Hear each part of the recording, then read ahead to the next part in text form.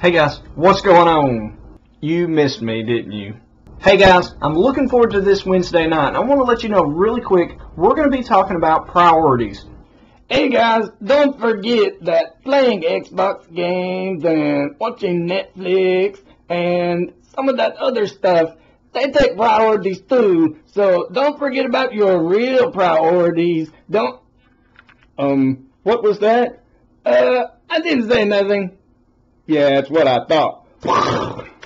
We're going to look at Matthew chapter 10 and we're going to focus on where Jesus is talking about what is more important in life.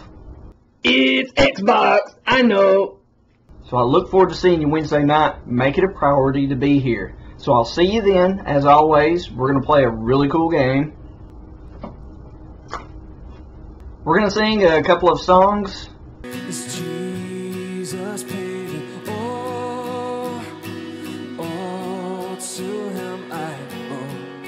And it's going to be a great time. You're going to get to hang out with me. So I look forward to seeing you later.